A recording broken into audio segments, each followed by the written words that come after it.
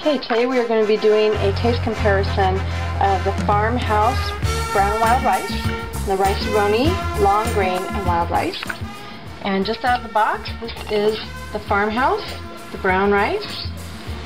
And this is the Rice-A-Roni Long Grain and Wild Rice. It looks like it's got a little bit more seasoning. And we're going to let this simmer for 25 minutes, and we'll be back to taste compare. Okay, so here's the finished rice. And the brown rice has some hydrated carrots in it. And the long grain wild rice. Beautiful. Now the wild rice actually is a little bit on the sticky side. I had to add a third more cup water than what the directions said because it's a little uh, chewy. But we are going to have the family come in and do a quick little tasty and see what their thoughts are. Okay, so here's our family tasting rice number one. What do you think? Hot.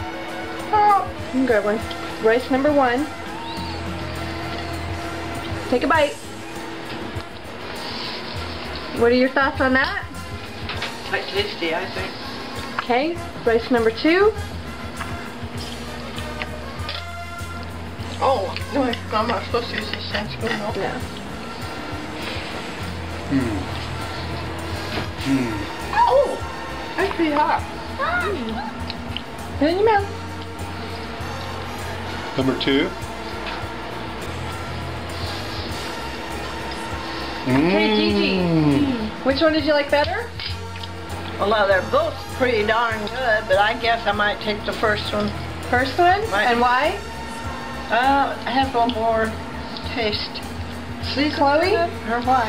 Um, I would take number two Number two, why? because um, there was some stuff in that, like the carrots that I didn't really like. You like oh, you saw okay. those carrots. That's a. I'm going to have to agree with Chloe the Princess. More taste, a little more moisture. This is kind of like dry a little bit. And there's just a lot more moisture in there. I mean, taste. Taste. Okay. Have Have It's it. tastes in the where? rice-a-roni is the is the winner from our home taste test versus the farmhouse. Thank you for your participation. Oh my, don't mention.